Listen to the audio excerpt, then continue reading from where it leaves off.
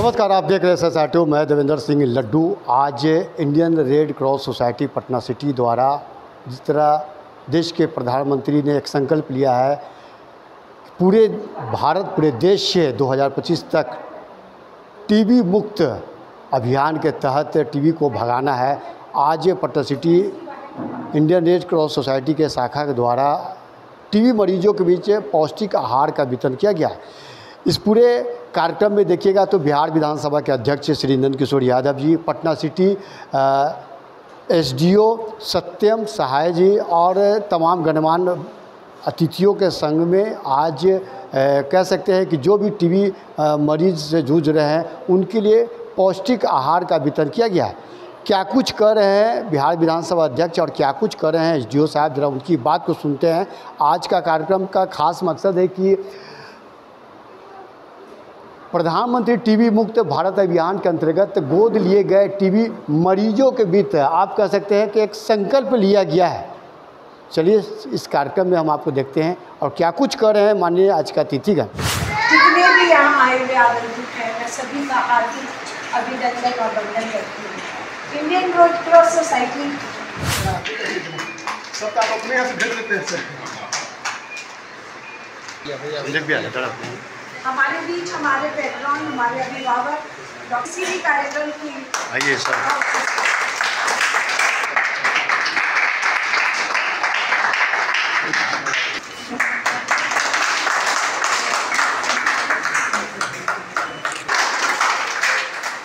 इस कार्यक्रम में सबसे ज़्यादा हमारे doctor Sikandar Khan ji doctor Prashant doctor S R Badalia ji उनकी मुख्य भूमिका रही है। मैं उस पर भी बहुत अभिनंदन करना चाहती हूँ कराएँगे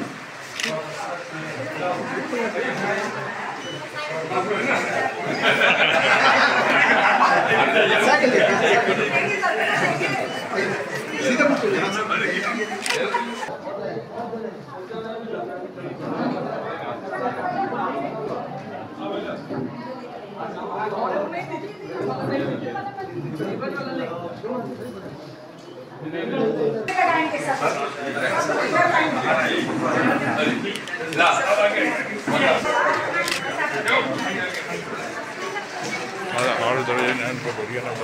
इंडियन रेड क्रॉस सोसाइटी द्वारा टीबी मरीजों के लिए पौष्टिक आहार का वितरण किया। देखिए, माननीय प्रधानमंत्री श्री नरेंद्र मोदी जी ने 2025 तक टीबी मुक्त भारत बनाने का संकल्प लिया था। और उसके तहत जहाँ अस्पतालों में टीबी की सभी दवाइयाँ फ्री ऑफ़ कॉस्ट मिलती है, वहाँ साथ साथ उन्होंने देशवासियों का आह्वान किया था कि टीबी मरीजों को गोद लेने का काम करें और उनके पौष्टिक आहार में अपना योगदान देने का काम करें। उनके इस आह्वान को देखते हुए बिहार के महामहिम राज्यपाल महोदय ने भी इसको पूरा करने का संकल्प लिया और उन्होंने रेड क्रॉस सोसाइटी को भी इस बात का आग्रह किया कि हम इसको ऑन करें। Patna City Red Cross Society ने स्वाभाविक रूप से इसमें बढ़ चढ़ कर हिस्सा लिया। और आप देख रहे हैं कि हर महीने सैकड़ों लोगों को हम लोगों ने यहाँ गोद लेने का काम किया है रेड क्रॉस सोसाइटी के माध्यम से।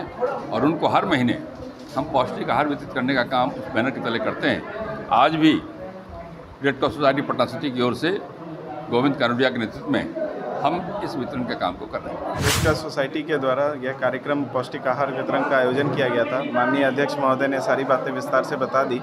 यह जो कार्यक्रम किया जा रहा है, यह बहुत ही अच्छे उद्देश्य के लिए किया जा रहा है। टीबी तो क्योर हो जाता है, बट उसके बाद की हम न्यूट्रिशन के लिए यह जो वितरण किया जाना है, यह सराहनीय पहल है। आगे भी ये इस तरह जारी रहे, इस तरह रेड क्रॉस सोसाइटी से अनुरोध रहेगा